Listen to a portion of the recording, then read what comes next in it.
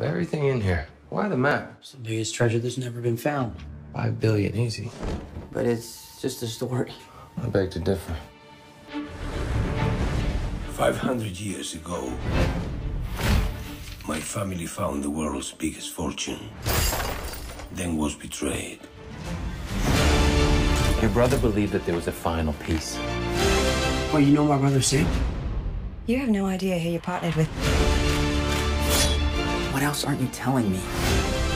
The victor is spoils. How are they gonna get them out of here?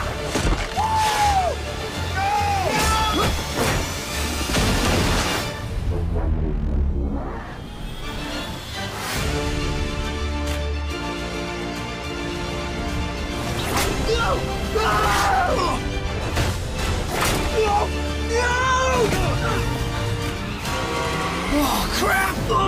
Oh,